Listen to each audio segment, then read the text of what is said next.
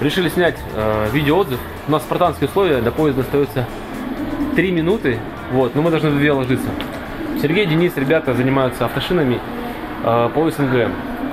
Э, какие впечатления от Китая? Вот Сергей первый раз в Китай приехал. Что понравилось, что нет? Все супер, все отлично. Есть моменты, есть нюансы, так как первый раз. Ну, самое сильное, что поначалу удивило, это еда. Очень тяжело. Ну, очень тяжело было привыкнуть. Брал таблетки, да, но, к счастью, не есть, ну, Ну ты беги, вдруг это быть.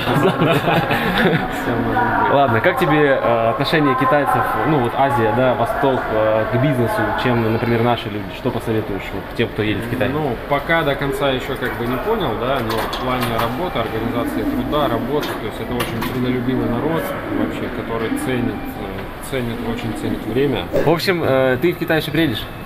Конечно, конечно. Денис, а ты? Да, Тебе я так- люблю очень сильно Китай, поэтому э, мы еще Сергею покажем Гуанчжоу.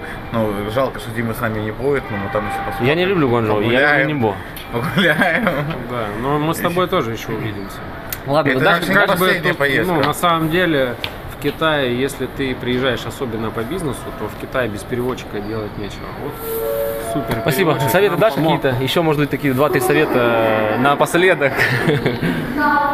Будьте аккуратнее. Читайте отзывы, всегда проверяйте фабрику, всегда слушайте, если вы подберете себе правильного переводчика, правильного гида по Китаю, всегда слушайте, потому что э, вы не знаете этот рынок.